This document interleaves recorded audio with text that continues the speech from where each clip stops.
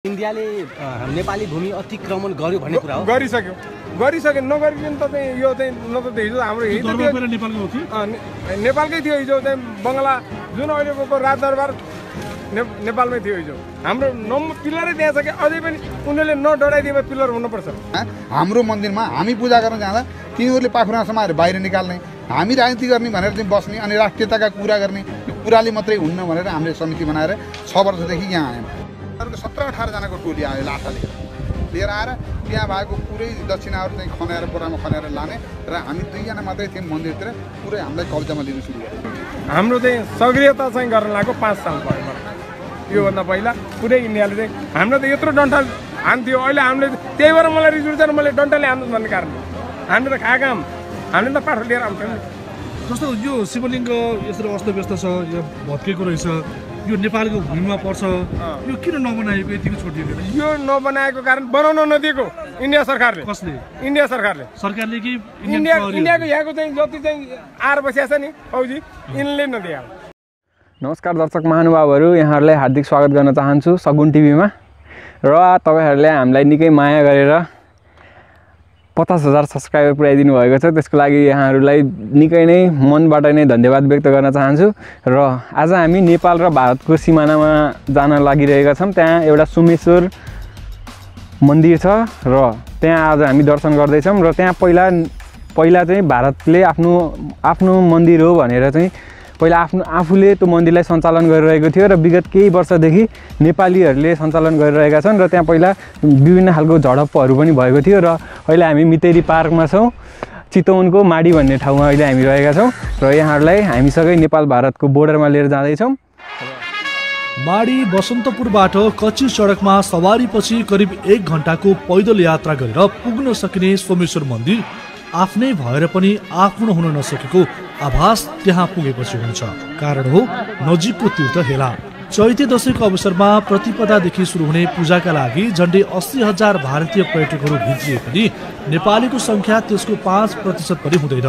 भारतीयको बाक्लो उपस्थितिकै कारण र सीमा नजिक भएकोले पनि उनीहरू मन्दिर माथि धावा बोल्दै नेपाली भूमिको मन्दिरको आम्दानी बराबर बाँड्नुपर्ने माग गर्दै आएका छन्। तर माडी नगरपालिकाका मेयर ठाकुर ढकालले कडा अडान लेखेपछि उनीहरू अहिले हच्किएका छन् तर यो दीर्घकालीन रूपमा समाधान भने देखिँदैन। चर्कै लडाइँ भएको चर्कै लडाइँ भयो यही ठाउँमा बसेर तिनीहरूको मान्छेसँग छलफल भयो। दुईतिरको समिति बनाउनुपर्छ। यहाँ चाहिँ दुईवटा पेटिका राख्नुपर्छ मिलेर समिति बनाउनुपर्छ भन्ने प्रस्ताव उनीहरूको आएको थियो। हामीले यो कुरा हुन सक्दैन। यो हाम्रो मन्दिर हो हामीले निर्माण गरेको मन्दिर हो होइन? यो पेटिका राख्ने कसका मान्छे धेरै आयो भन्ने कुराको महत्त्व होइन। महत्त्व त भारतमा जनसङ्ख्या धेरै छ पशुपतिमा पनि तिमीहरू धेरै जान्छौ होइन? बोद्धकमा पनि तिमीहरू धेरै जान्छौ। अब तँ हो भने त त्यहाँ पनि जानु पऱ्यो पेटी राख्न नभए यसमा चाहिँ प्रश्न चिन्ह हुँदैन भनिसकेपछि अब उनीहरू अघिल्लो सालमा गएर गत सालमा लगभग छ बजे थियो बेलुका। हाम्रो सबै सुनसान भइसकेको थियो। हाम्रो चाहिँ यो सशस्त्रको क्याम्प पनि झरिसकेको थियो र उनीहरूको पनि झरिसकेको थियो।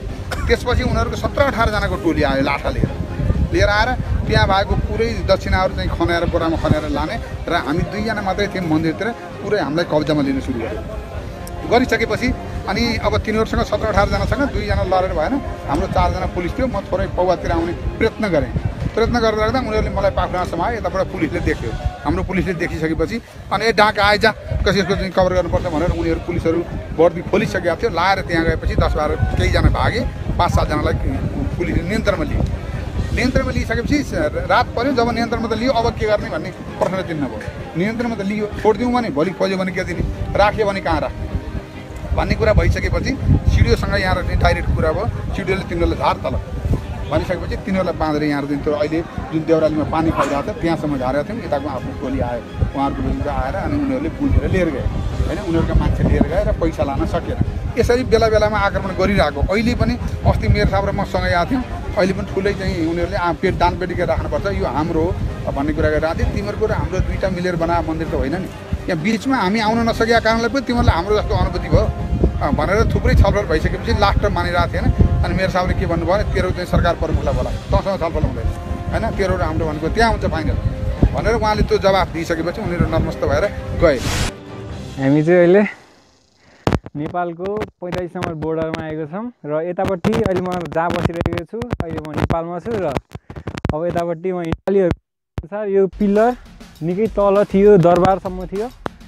दरबारमा थियो भनेर पनि त्यहाँको यहाँको स्थानीयवासीहरूले भनेको हामीले पाएका छौँ।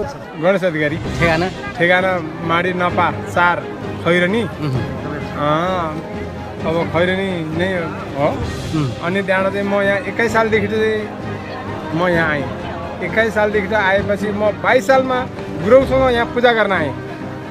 गुरौ गुरौसँग पूजा गर्न आउँदाखेरि गुरौले पहिला गएर पूजा चाहिँ पूजा यहाँ गर्थ्यो अनि गुरौले उहाँ गएर दर्शन गरेर आउँथ्यो दरबारमा। दरबारमा दर्शन गरेर आउँदाखेरि अनि गुरौले हामीले भन्थ्यो हाम्रो नि हो त्यो यहाँ मात्रै होइन त्यहाँ जानुपर्छ भन्थ्यो। गुरौ मऱ्यो गरिदिएको गुरौले हामीलाई सोध्यो भनेको हामी सम्झिरहेको छौँ कि। अनि त्यहाँबाट चाहिँ त्यहाँ चाहिँ हामी गएर देख्दाखेरि के थियो? काठको पिल्लर यस्तो चाहिँ खोपेको थियो यसरी खोपेको थियो। यसमा चाहिँ तपाईँको पेन्ट रातो पालिसले नम्बर लेखेको थियो पैँतालिस नम्बर। ठ्याक्कै चाहिँ तपाईँको यो दरबार भयो उसको आडैमा थियो। पैँतालिस नम्बर अहिले यो माथि आयो। हामीले चाहिँ मेरो भनाइ यति नै हो। पुरानो बङ्गला छैन। एउटा घोडा भन्ने तबेला छ त्यहाँ गएर हेर्न सक्नुहुन्छ तपाईँहरूले। हेर्न सक्नुहुन्छ। अरू सबै चाहिँ उनीहरू भदौँ भुदौँ पारे। भन्नाले इन्डियाले नेपाली भूमि अतिक्रमण गर्यो भन्ने कुरा हो। गरिसक्यो। गरिसक्यो नगरिकन त चाहिँ यो चाहिँ न त हिजो हाम्रो हिजो दरबार थियो- पहिला नेपालको थियो हिजो चाहिँ बङ्गला। जुन अहिले भएको राजदरबार ने नेपालमै थियो हिजो। हाम्रो नम्बर पिल्लरै त्यहाँ छ कि? अझै पनि उनीहरूले नडराइदिए पिल्लर हुनुपर्छ। अहिले चाहिँ कसले प्रयोग गरिरहेको छ त्यो। दरबार त अहिले त चाहिँ उनीहरू भत्काएर क्याम्प बनाएको छ। सानो सानो सानो सानो आफ्नो बस्ने कोठा बनाएको छ। कसले? इन्डिया सरकारले। इन्डिया सरकार नेपालको। त्यो बाद यो चाहिँ कुनै चाहिँ परिवर्तन हुन्थ्यो होला नि त सर। आफूले चाहिँ के त्यति बेला अतिक्रमण ध्यान दिएन। हामीले चाहिँ केही गर्न सकिएन। अब सरकारले ध्यान दिएन। हामीलाई यही चाहिँ मन्दिरै चाहिँ आफ्नो बनाउँदा बनाउँदा हाम्रो चाहिँ यो कन्नाको गिटी बालुवा बोक्दा हाम्रो खाला गयो हामीलाई चाहिँ बिस वर्षसम्म यिनीहरूले पूजा गर्न पनि दिएन। देश इन्डियाले। अहिले हामी त अब बनाउनु पूजा गर्न लाग्यो मन्दिर बनाएको हामीले पचास सालमा। मन्दिरभन्दा धेरै तल राणाकालीन दरबार समेत रहेको छ। सङ्कटकालका बेला स्थानीयवासी र नेपाल सरकारको उपस्थिति नरहेकै कारण सो दरबार समेत अहिले एसएसबीले कब्जा गरेर आफ्नो क्याम्प खडा गरेको छ। यो कुरामा समेत नेपाल सरकार मौन छ। तर सोमेश्वर मन्दिर र सोमेश्वर डाँडोको बचाउका लागि माडी नगरपालिका अहिले डटिराखेको छ।